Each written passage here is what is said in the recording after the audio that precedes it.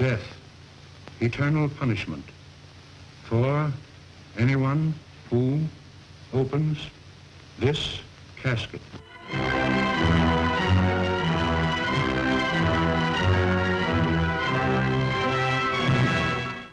The mummy. Is it dead or alive? Human or inhuman? You'll know. You'll see. You'll feel the awful, creeping, crawling terror that stands your hair on end and brings a scream to your lips. There's nothing on earth like the mummy.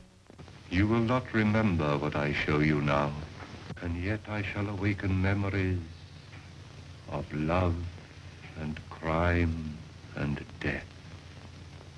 Now I know his horrible plan.